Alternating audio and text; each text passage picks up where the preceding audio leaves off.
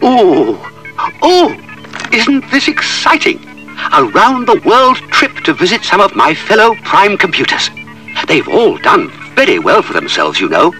There's Fitech at Rothschild's Bank in Paris, Zerg at BMW, then over to America to see the mighty Mott at Ford, Posip at Boeing. Uh, it's all work, of course. I wouldn't want you to think I was just swanning around.